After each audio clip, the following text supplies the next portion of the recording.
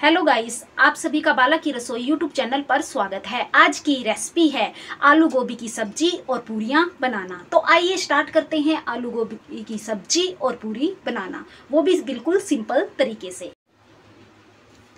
आलू गोभी की सब्ज़ी और पूरी बनाएँगे आज हम।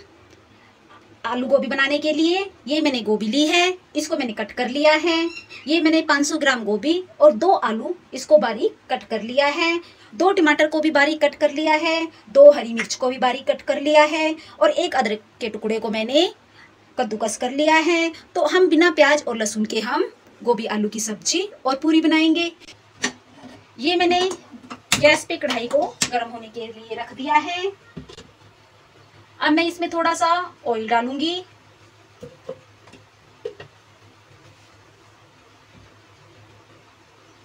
ऑयल हमारा गर्म हो चुका है। सबसे पहले मैं इसमें ये आलू डाल दूँगी और साथ ही मैं इसमें ये गोभी डाल दूँगी।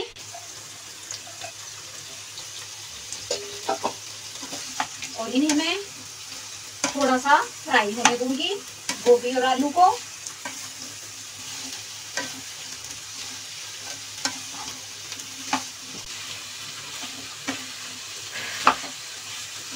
और इसे मैं ढक दूँगी। इसे मैं ढक के 10 मिनट के लिए पकने दूँगी। जब तक कि हमारी सब्ज़ी भुनती है, तब तक हम भून कर तैयार कर लेते हैं। ये मैंने एक बाउल आटा लिया है।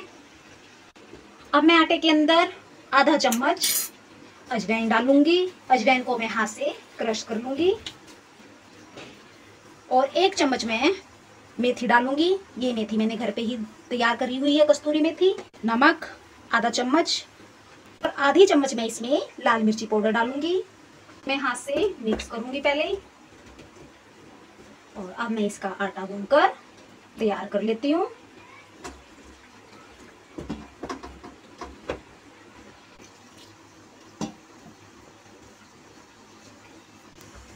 आटा हमें सख्त गूंदना है। हम पूरियों के लिए आटा गूंद रहे हैं। ना ज़्यादा सॉफ्ट और ना ज़्यादा सख्त। मीडियम साइज़ में आटा गूंदना है हमें। और ये हमारा आटा गूंद कर तैयार हो चुका है। अब मैं थोड़ा सा ऑयल लगाऊँगी आटे पे। मैंने एक चम्मच के आसपास ऑयल डाल दिया है। और इसे मलके में अच्छे से तेल को लगा लूँगी आटे पे। हमारा आटा अच्छे से गूंद कर तैयार हो चुका है। आटे को मैं इस बाउल के अंदर रख दूँगी। रेस्ट पे।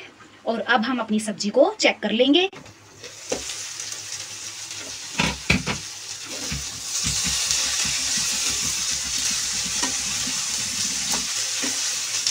ये हमारी सब्ज़ी भून चुकी है।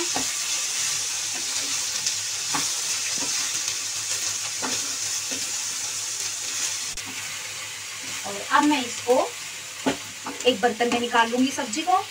गैस को मैंने बंद कर दिया है और इस सब्ज़ी को मैं इसमें निकाल लूँगी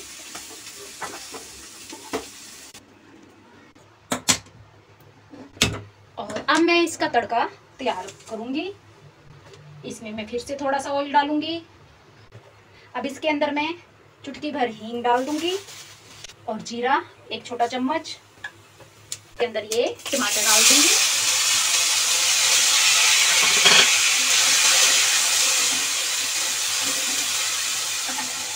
मैं इसमें ये अदरक डाल दूँगी।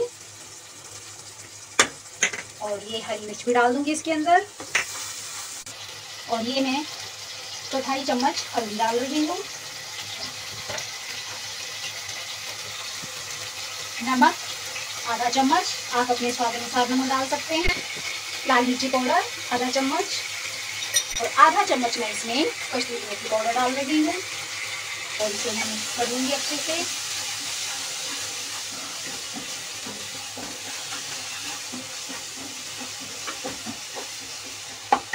और ये हमारा मसाला भूनकर तैयार हो चुका है। अब मैं इसमें ये सब्ज़ी डाल दूँगी। जो मैंने हल्की सी फ्राई करी थी सब्ज़ी। और इसे मैं मिक्स कर लूँगी मसाले के अंदर। हमारे मसाले में अच्छे से मिक्स हो गई हैं।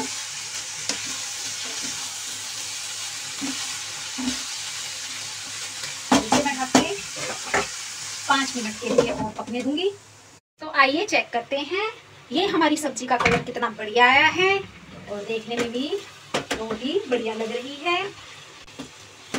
बिल्कुल हमने कम तेल में फ्राई करके सब्ज़ी को तैयार किया है। हमारी बन चुकी है। इसे मैं एक साइड में रख देती हूँ। और ये मैं कढ़ाई में ऑयल होने, गरम होने के लिए रख दिया है मैंने। आइए हम इतना इसकी पेड़ियाँ कर लेते हैं आटे की।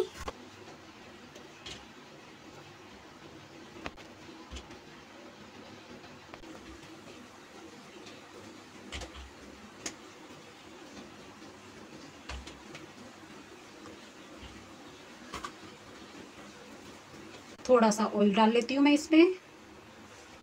और अब मैं ये पूरियाँ बेलकर तैयार कर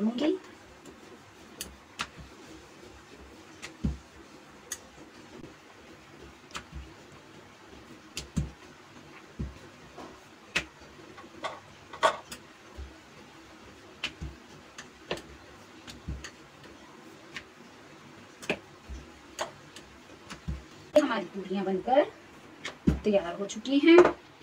और इधर हमारा ऑयल गरम हो चुका है।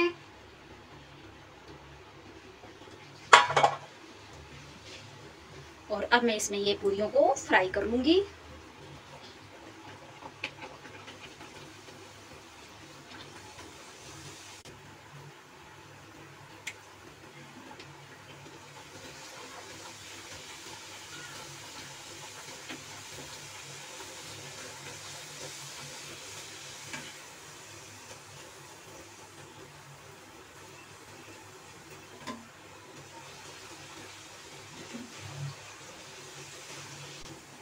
ये हमारी पूरी फ्राई हो चुकी हैं। इन्हें मैं प्लेट में निकाल लूँगी